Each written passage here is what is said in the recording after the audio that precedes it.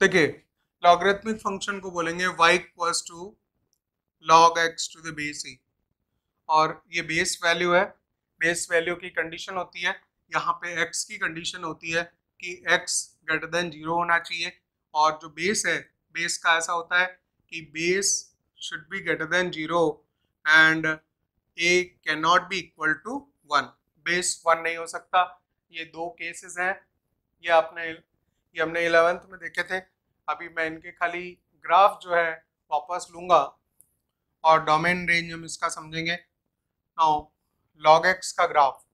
Log x का graph when a is greater than zero a is greater than one a greater than one पे ये graph बनता है।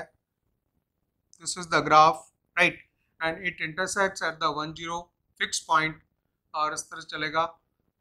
When base is greater than 1 this is always the increasing function right and second one is when the base is base lies between 0 to 1 तो इसका जो graph है वो इस तरह का डिक्रीजिंग ग्राफ होता है इसमें भी कुछ पॉइंट्स हैं वो आप देख सकेंगे कि इसकी इनक्वलिटी और वो सारे रिज़ल्ट हमें देखना है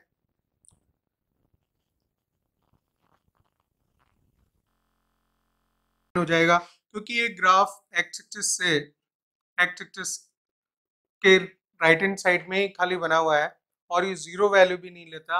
Log zero not defined value होती है तो वो हमें पता है तो इसका डोमेन लिखेंगे, x belongs to zero to infinite x belongs to zero to infinite range जो आप लिखेंगे इसकी रेंज आएगी। y की वैल्यू इसने पॉजिटिव भी ली है, y की वैल्यू नेगेटिव भी ली है। इस ग्राफ की तरफ़ देखते हुए देखिए कि इसकी वाई की वैल्यू ऊपर तक इनफाइनेट जाएगी और नीचे भी माइनस इन्फाइनेट तक जाएगी, ठीक है? तो रेंज जो होती है इसकी वाई बिलोंग्स टू आर होती है।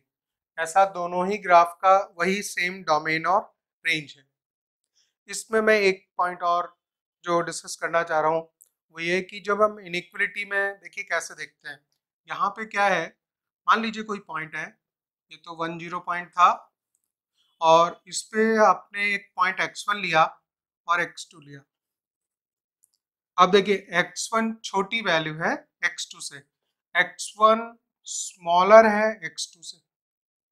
X one is less than X two ठीक है? और लॉग के ग्राफ पे बना रहे तो यहाँ जो इसका करस्पॉन्डिंग लॉग एक्स वन आएगा और इस पे आएगा लॉग एक्स टू यहाँ पे वैल्यू होगी इसकी लॉग एक्स टू तो क्या होगा? लॉग एक्स टू बड़ा होगा। लॉग एक्स वन छोटा ही होगा।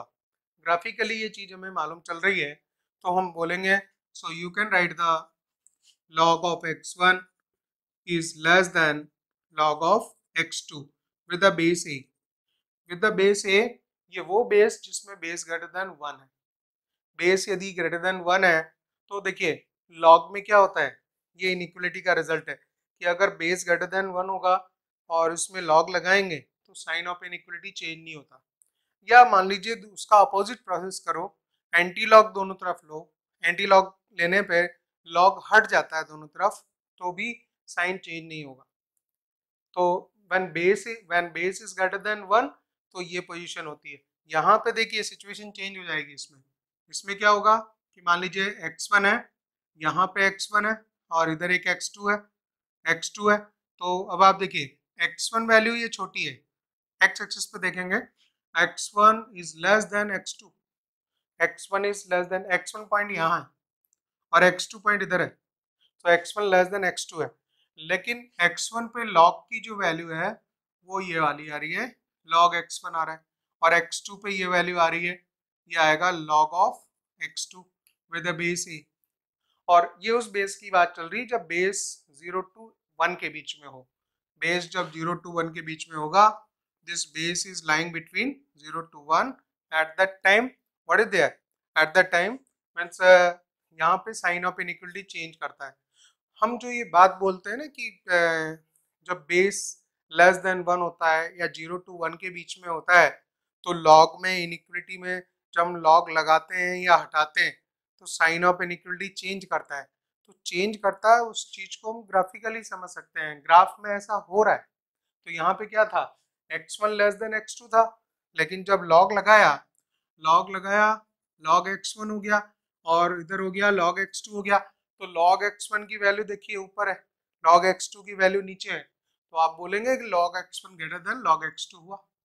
So this is with the base a, this is with the base a when base is lying between 0 to 1 तो इनइक्वलिटी का इंपॉर्टेंट रिज़ल्ट है कि जब, इस तरह की बात आती है इन इक्वलिटी में लॉग लगाएँगे या लॉग हटाएँगे, ठीक है एंटी लॉग। लेंगे so in that both the cases what happens the base is lying between zero to one sign of inequality changes right